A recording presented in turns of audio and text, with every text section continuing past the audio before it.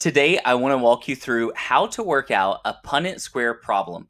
I'm going to start by explaining everything that you need to know to understand a Punnett square, and then we're going to actually go through the steps together, and I'm going to give it an illustrated version so you can see and understand it better. This is something that you're probably learning about as a student in your genetics and heredity unit. So let's talk about what is heredity. Heredity is the passing of traits from parents to offspring. And we get a set of instructions from our mom and our dad that are passed down in our DNA that tell our body everything that we need to know about ourselves. We get a set of instructions from each parent for literally every characteristic about you. So if we look at our eye color, our height, whether we have freckles, our eyebrows, our ears, every single thing has two sets of instructions in our DNA. However, only one of those is going to show up in your physical appearance. And we're going to talk about well, how do we figure out which one actually did show up in our appearance? And what happens to that other set of instructions? Where did it go? The first thing that we need to talk about is a genotype. Like I said, you have two sets of instructions for everything about you. We have one set of instructions from one parent and one set of instructions from the other parent. And these two inherited alleles together form your genotype. So, this is that coding in your DNA that says what was passed down from your mom and your dad for that characteristic, like height. Now, the phenotype, and I always tell my students, you can help differentiate. Genotypes are the two genes, and the phenotype is more about your physical appearance. And they've both got that beginning f sound phenotype, physical appearance. An organism's physical appearance for a given characteristic. Like we can say, okay, what's your phenotype for your eye color? So hopefully you know your eye color. My eye color is hazel. You can see that we've got green, brown, blue. So whatever you end up actually having show up in your physical appearance, that's what your phenotype is. Now, here's where we have to start to figure out well, how does that happen? How do we have two sets of instructions for everything? What if they're different? How do we know which one's going to win?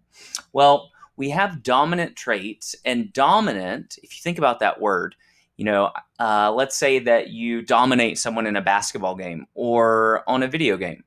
You won, right? You totally beat them. So, dominant traits win out over recessive traits, which we'll talk about next. Dominant traits are an inherited trait that results from the expression of the dominant one over the recessive one. Let's look at eye color. Dominant traits are the ones that win out. And we know that brown eyes are very common. Brown eye color is a dominant trait, and brown eye color is going to win out over blue eye color all the time because it dominates. Blue eye color is a recessive trait, and we're going to talk about why it doesn't show up in people's physical appearance as often.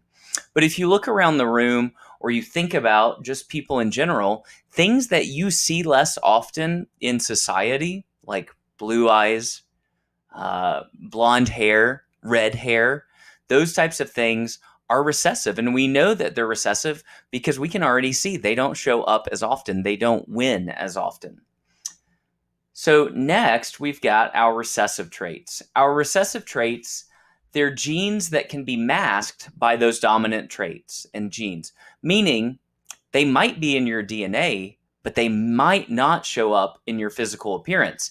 And the only way it can be expressed is when you have two recessive alleles, meaning that both your mom and your dad gave you those two recessive alleles and passed them down, like two sets of instructions for blue eyes or two sets of instructions for blonde hair. That's the only way we're going to end up having those recessive traits.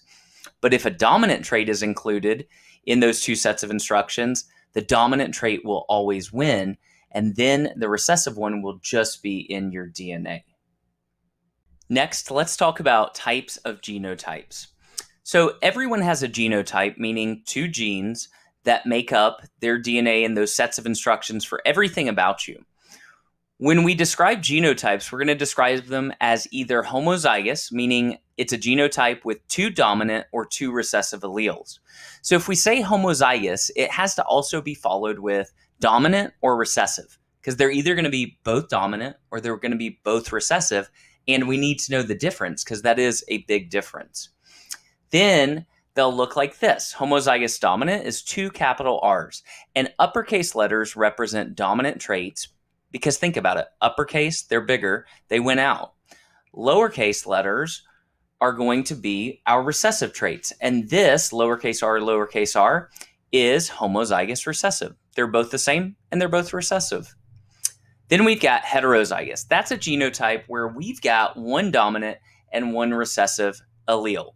So we might have a dominant trait for brown hair color and a recessive trait for blonde hair color. And that person got one of each. So when somebody says heterozygous, we automatically know there's one dominant and there's one recessive because they're different.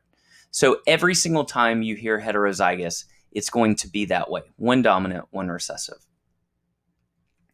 All right, so here's the thing about Punnett squares and where students often get confused because we have to keep in mind that your parents each had a set of instructions for everything about them, which means there's a total of four sets of instructions, but you can only get two and you can only get one from each parent. So they're only going to pass down one of those genes. And there's a lot of different possibilities of ways those genes can combine and be passed down to you.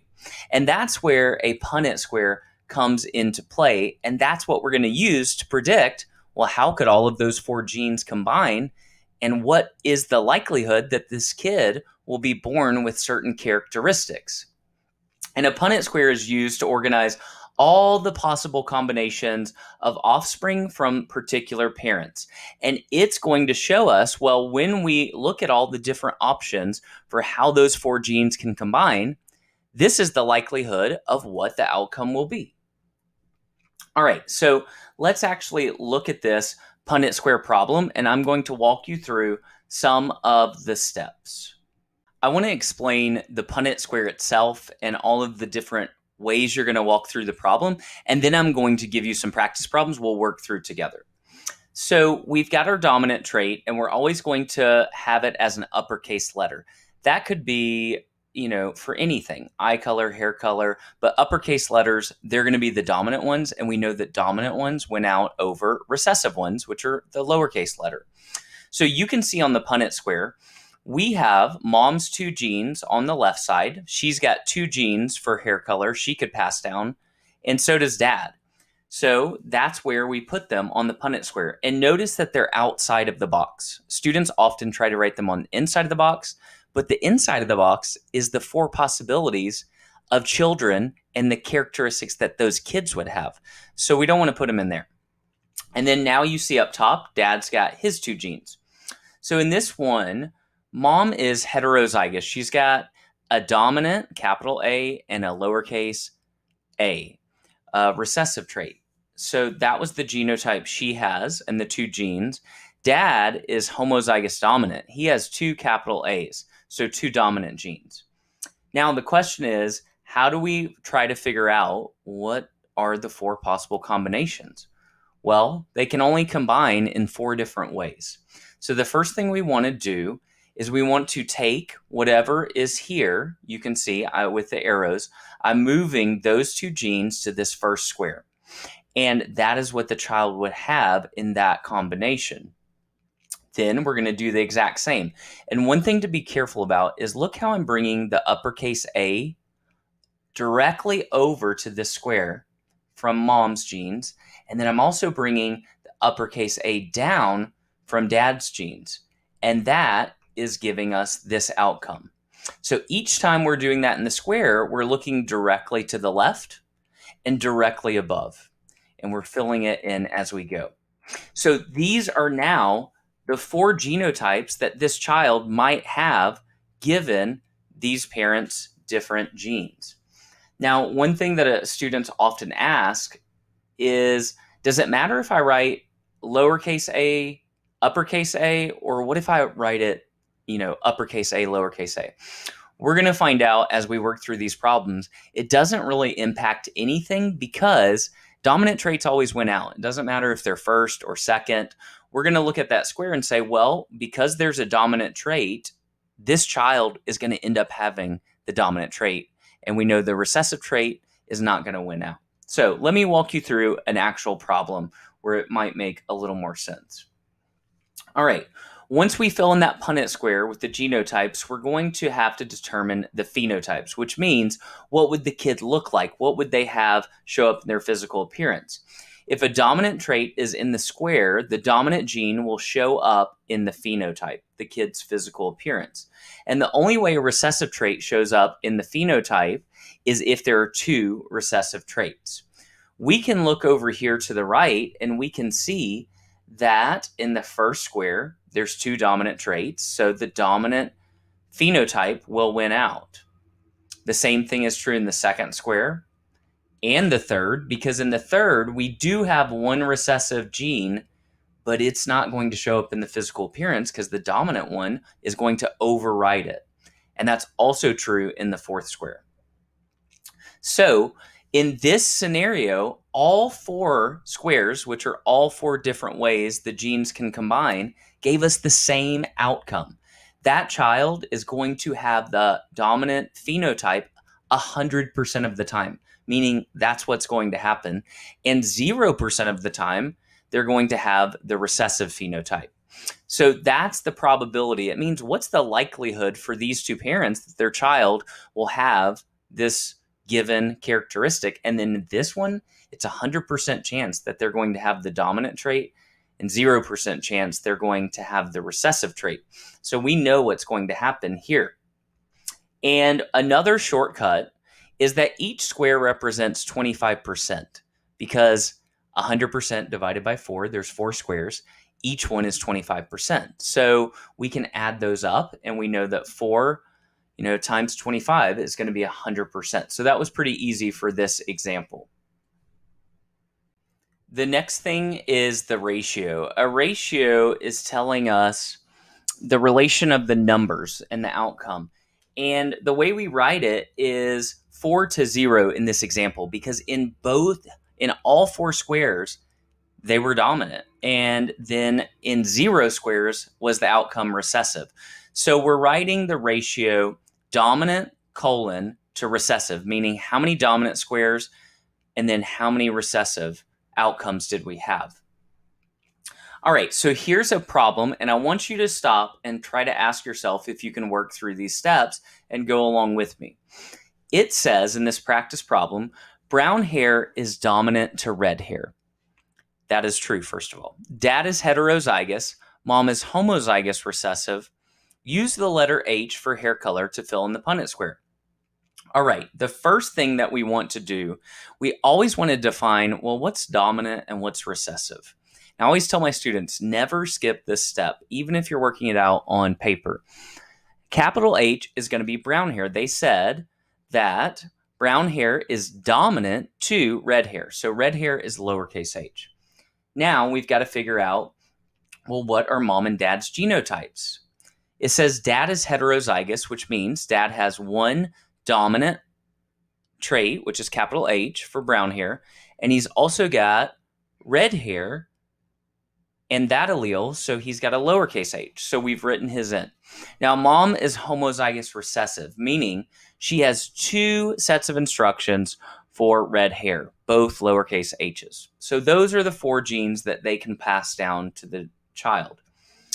So in the first square, we're going to bring those two down, and we're going to continue to do that around the square. These are the four options that the kids could have. Now, if we look at the first square, you can see that the phenotype is brown hair, and we know that when there's a dominant trait, it's going to win out over the recessive trait. Now look at the second square to the right and tell me what is the phenotype going to be there? Is it going to be brown hair or is it going to be red hair?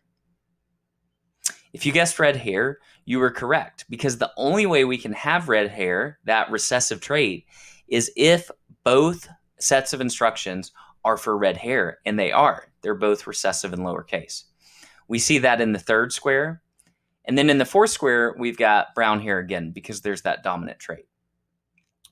Now, the probability. So the question is, what's the percent chance that the kid will be born with brown hair? And then what's the percent chance they'll be born with red hair? Well, half of the squares are brown and half of them are red. So it's just like flipping a coin. It's 50 50. 50% chance for brown hair and a 50% chance for red hair. And then on our ratio, we have two outcomes with brown hair, the dominant trait, and two with the recessive trait. So our ratio would be two to two, brown hair to red hair, or dominant to recessive. Let's move on to one more practice problem just to make sure that we can work through all of the steps. The, the problem says brown eyes are dominant to blue eyes. Mom is heterozygous and dad is also heterozygous. And we know that that means they have one of each set of instructions, one dominant, one recessive. Fill in the Punnett square using the letter capital E for dominant and lowercase e for recessive traits. So we're going to start by defining our dominant trait, which is capital E equals brown eyes, and our recessive trait is lowercase e equals blue eyes. Then we're going to say mom's heterozygous, so we know that she has one dominant and one recessive trait. She has a set of instructions for brown and blue eyes, and so does dad. So now that we have their four genes on the Punnett square, we need to figure out, well, how do we fill in the Punnett square? So remember, we're going to bring our genes from one from mom, one from dad, and we're going to move around the Punnett square as we do that. Now, if you get confused as to where those letters come from, remember you can go back a couple of slides or in the video and you can see the animations exactly how I'm getting each one into the box. Now, in the first square, that child would have two dominant genes, two sets of instruction for brown eyes. So we know they're going to end up with brown eyes. Now, I want you to ask yourself in the second square to the right, what would the phenotype be for that child? We have capital E, one dominant trait, and lowercase e, one recessive trait. If you said brown eyes, you're correct. Because even though we have a set of instruction for blue, we know that the only way blue eyes will show up is if it's both sets of instructions, like in the next square. Two recessive traits means we're going to get recessive, which is blue eyes. And then in the last one, again, it's brown eyes. Now, what's the probability for this scenario? What are the outcomes that we're looking at? When we look down there, we see that in three squares, we're going to end up with the dominant trait, which is brown eyes. And then in one of those outcomes, we're going to have blue eyes. So if each square represents 25% probability, then we know that there's a 75% chance that the child will end up with brown eyes and a 25% chance they'll end up with blue eyes. Now, the ratio is how many dominant outcomes to how many recessive. And in that one, we know it's three to one brown eyes to blue eyes, dominant to recessive.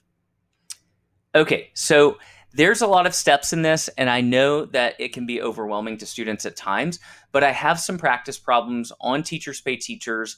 You can go back and rewatch this video and revisit the steps and just ask yourself if you can do each step in the problem and make sure that you understand what each term means because we've got to know what dominant, recessive, heterozygous, and homozygous mean. Because if you don't know that, it's going to be really hard to work through the problem. And then you can also go back and look at the animations where I show you exactly how we fill in the Punnett square. But if you'd like more practice, teachers, I have a set of practice problems that students can complete that are just like this, and it will grade itself in Google Forms. And that is in my Teachers Pay Teachers store. If you have questions as a student, or if there's something that didn't make sense to you, ask those below, and I will comment and answer whatever questions I can. And until next time, happy teaching, and I'll see you guys in the classroom. Don't forget to like and subscribe and let me know how you're liking my videos.